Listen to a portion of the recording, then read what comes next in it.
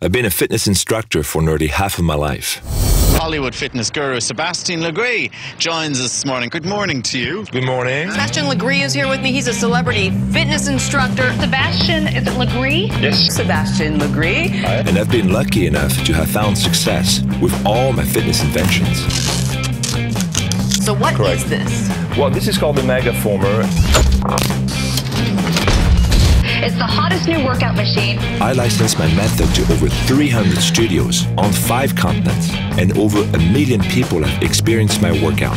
I found the perfect place for you to stretch those little bones of yours. We're gonna be stretching this morning. And now, more than ever, people are interested in fitness.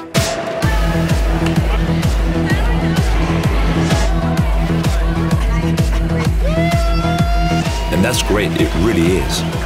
But even though today people develop more equipment, more supplements, and more workout than ever before, something is just not clicking.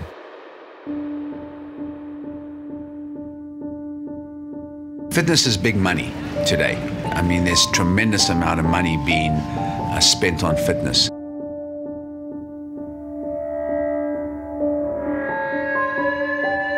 You know, if people know what's right and don't have to filter through all the crap and see the bodybuilders spray tanned and, um, oh, that must be right. No, it's far from right.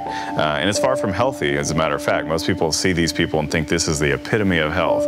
But if you looked at a blood panel profile of these people, they're about to die. I am looking for strategies to move more, to have pleasure moving. How can we create things that can appeal to more people? Hormones, uh, poor hormones, they get a bad rap. I want to take everything I've learned up to this point and see if I can not only predict what's in store for the near future,